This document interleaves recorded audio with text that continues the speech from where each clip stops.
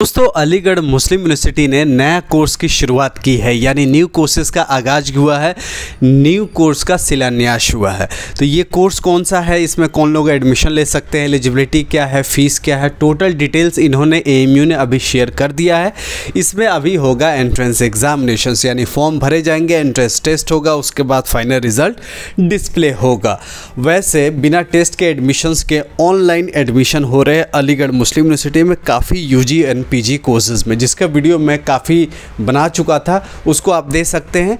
Distance में and online education में, यानी डिस्टेंस आजकल ए नहीं करवा रही है। अभी जब तक, अभी तक जो वीडियो बन रहा है, इसमें ऑनलाइन कोर्सेज़ का अभी एडमिशन की शुरुआत हो चुकी है। यू जी में आप लोग एडमिशन ले सकते हैं।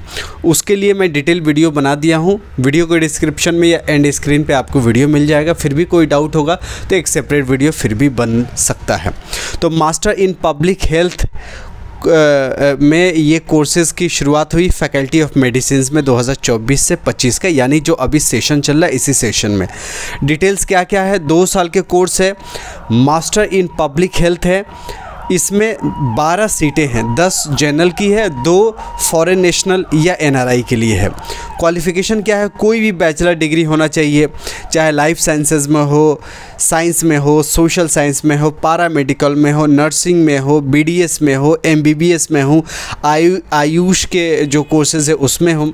बस 50 परसेंट मार्क्स होना चाहिए ग्रेजुएशन में, जो ग्रेजुएशन का मेंशन है, इस एलिजिबिलिटी में, वो लोग इसको अप्लाई कर सकते हैं। एज लिमिट क्या है? 27 साल age on first July of this year of admission इस 2024 में एक जुलाई को 27 साल से ज़्यादा नहीं होना चाहिए। इसमें एडमिशन टेस्ट के द्वारा आपका एडमिशन होगा, जिसमें 100 नंबर के क्वेश्चंस पूछे जाएँगे। सिलेबस जो है, वो ऑलरेडी कंट्रोलर ऑफ़ एग्जामिनेशंस के वेबसाइट पर डला हुआ है। तो आप लोग सिलेबस वहाँ से ले सकते हैं। तो दोस्तों, आपकी काम के हो तो आप वीडियो को देखिएगा और आगे, नहीं तो इसको शेयर ज़रूर कर दीजिएगा। ज़रूरतमंद बच्चों के पास ये वीडियो पहुँच जाए। अब आगे जो है, टेस्ट सेंटर के लिए इन्होंने कहा कि अलीगढ़ मुस्लिम यूनिवर्सिटी में ही होगा, यूपी में ही होगा एडमिशन टेस्ट। एप्लीकेशन फॉर्म के लिए ऑनलाइन भरे जा रहे हैं, पंद्रह सौ रुपया फ़ीस है। फॉर्म हैंडलिंग ऑफ़िस है, office of the controller of examinations. Last date है 31 अगस्त 2024 के। वैसे लेट फ़ी के साथ 7 सितंबर तक भी आप लोग अप्लाई कर सकते हैं। स्टूडेंट जो मास्टर ऑफ़ पब्लिक हेल्थ में एडमिट होगा, उसको डेवलपमेंट फ़ी पचास हज़ार पर सेमेस्टर देना होगा। एक्शन जो हुआ है, वो वाइस चांसलर जी ने लिया है ऑलरेडी और आगे जो भी रिपोर्ट होगी आपको पब्लिश किया जाएगा। कंट्रोलर ऑफ़ एग्जामिनेशन का साइन है, आप देख सकते हैं। ये 16 अगस्त यानी पंद्रह अगस्त इंडिपेंडेंस मनाने के दूसरे दिन ही इसको पब्लिश किया गया है और आप इसको 19 अगस्त पे हमारे चैनल पे देख रहे हैं। तो ऐसे ही यूज़फुल वीडियो मैं बनाता रहता हूँ। डिस्टेंस एंड ऑनलाइन के भी बना चुका हूँ, जिसमें यू जी एंड पीजी में ऑनलाइन कोर्सेज़ में एडमिशन हो रहा है बिना टेस्ट का, बिना एंट्रेंस एग्जामिनेशंस का डायरेक्ट एडमिशन हो जा रहा है। डायरेक्ट एडमिशन हो रहा है कोई भी क्राइटेरिया इसमें नहीं है, बस आपका एलिजिबिलिटी होना चाहिए। ग्रेजुएशन के लिए बारहवीं और पोस्ट ग्रेजुएशन के लिए ग्रेजुएशन होना चाहिए। डिस्टेंस एंड ऑनलाइन में आप एडमिशन ले सकते हैं, ठीक है?